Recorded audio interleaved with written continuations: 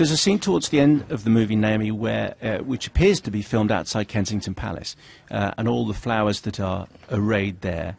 And I was thinking at the time, it was just, presumably you have to get permission to film outside Kensington Palace, and I wonder. Yes, we had permission.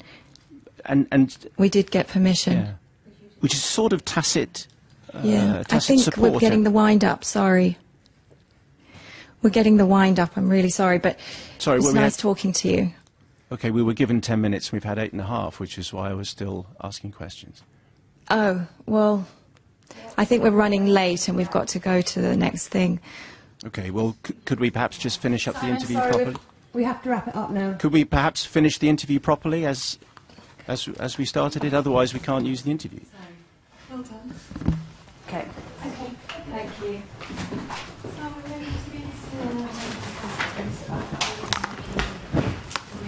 And that's uh, the sound of Naomi walking out. So just, uh, so just to make things absolutely uh, clear, though Naomi said she was being given the, the wind up, um, we know, as I said before, because one of our production team was there, that that she wasn't, and it was her decision to uh, to finish the interview, which she's quite at liberty to do. And listening again to that, I can only reiterate that I'm a, a little bit baffled as to why she was so uncomfortable. There seemed to be maybe she misinterpreted one of my questions with a bit about walking on eggshells. I don't know. What do you think?